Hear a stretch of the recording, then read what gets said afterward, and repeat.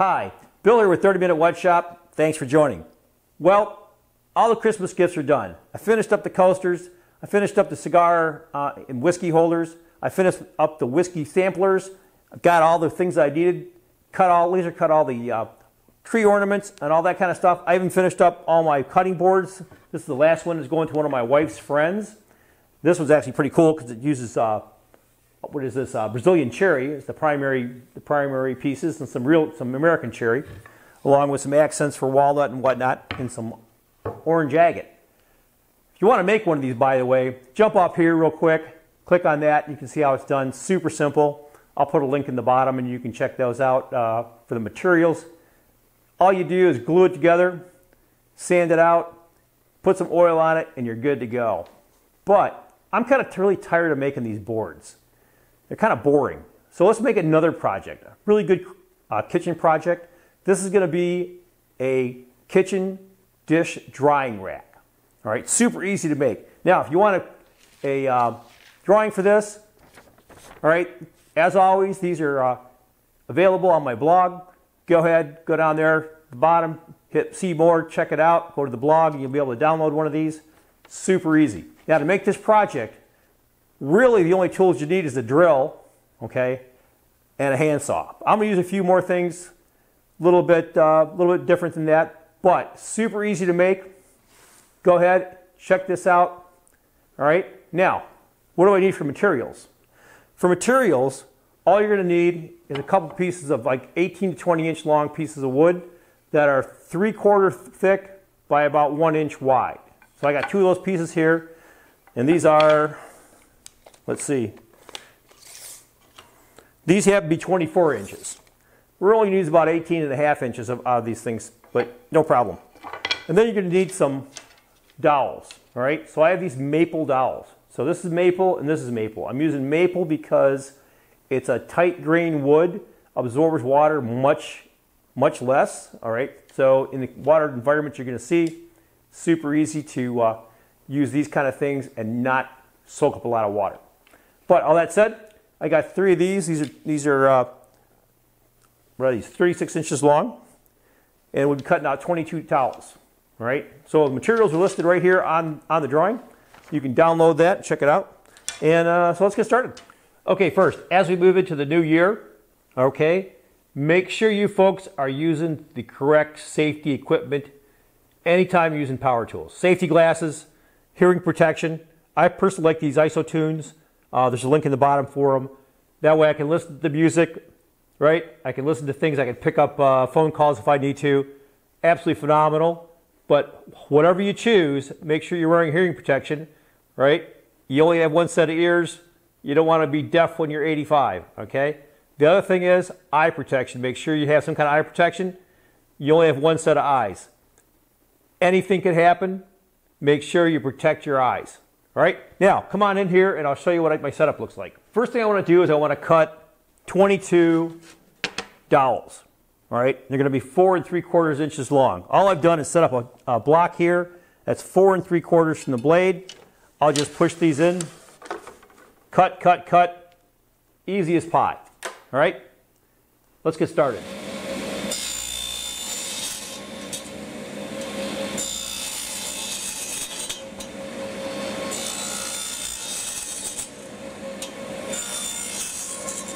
All right, next step here, after all that cutting, uh, is to do some marking. Now, very easy to do. All you do is take the dimensions off of the uh, drawing, lay those out, super simple, all right? So, knowing what I'm doing, done, done, done, done.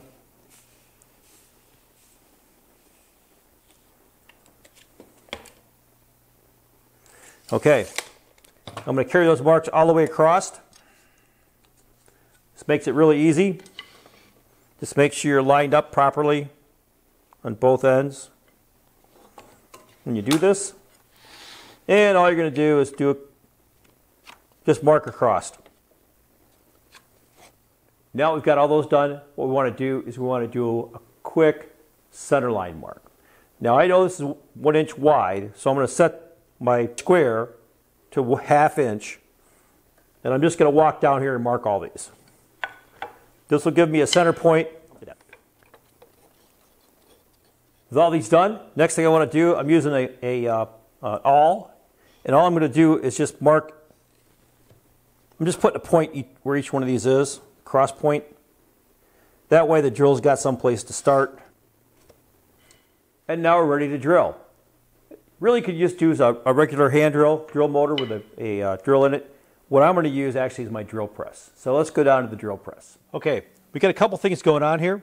Um, I set this up so I can drop the center of the drill directly into the hole that I left. Now, be sure whenever you do this, you test the uh, hole size.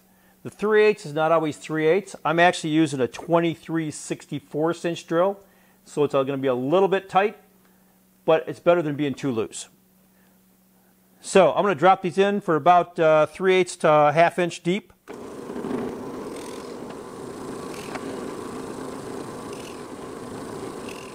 The holes are in. Now all we do is do a quick cut off. With the holes in, everything cut up, now it's time to do some sanding. I'm using 220 grit here. It'll end up making this nice and smooth. All right, next step here, you don't have to do this. You could just sand the edges, but I'm going to go ahead and use my uh, eighth inch round over bit and just give this a quick round over.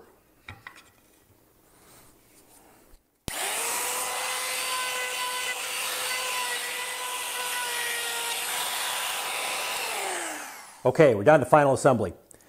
All I'm going to do is take these, do a quick dip in some glue here that I have on the uh, paper. Doesn't take a lot. This is waterproof glue.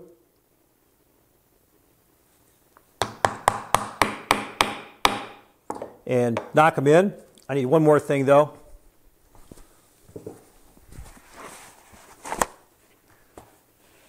Want to wipe off any excess. That was a little too much. But be careful how much you put on, how much glue you put on. It doesn't take a lot, okay?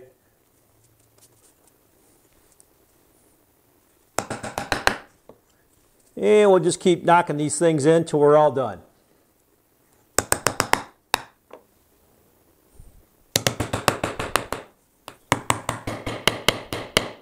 With all these set, we do a couple things. One, turn it upside down to make sure we've got them all sunk to the same depth. And you also look down just to make sure that nothing's too twisted or bent one way or the other, like that one's a little out of, out of whack.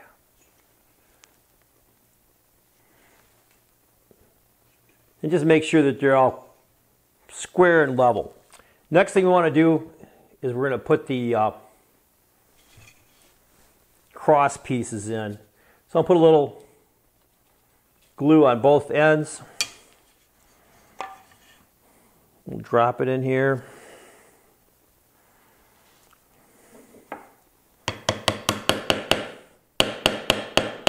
So next I want to throw some glue on these ends. And I'll just use what I have here in the paper. Line it up and hammer it home.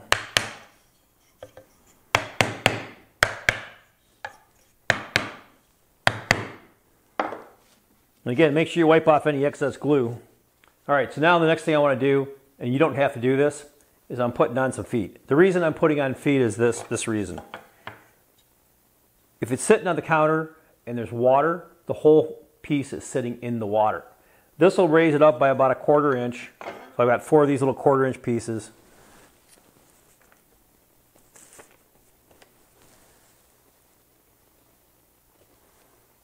And all I'm going to do is, it's called a rub joint. I'm just going to rub it make sure it's all squared up. So you got to put a little on here. And one thing you do when you do a rub joint, make sure you get you want to put enough glue, but not so much that it squirts everywhere. Rub on it and squeeze it. If you have to pull it off and check the joint, make sure you got full glue coverage. Be sure you do that. You don't really want to get glue uh, areas where there's no glue contact. That's a spot where water can get in.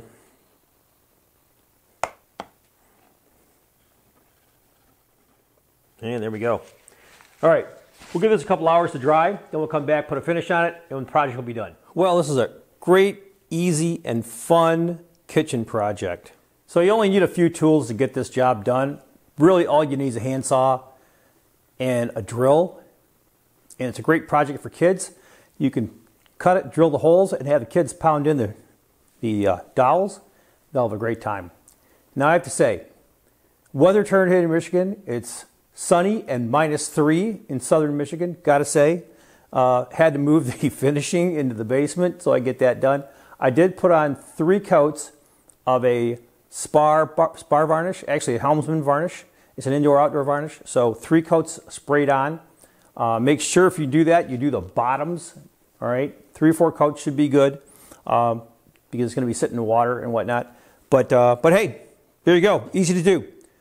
Now, if, like always, if you want a uh, dimension drawing, dimension sketch, go down here, 30minutewoodshop.com, okay, and uh, you can pull that right down.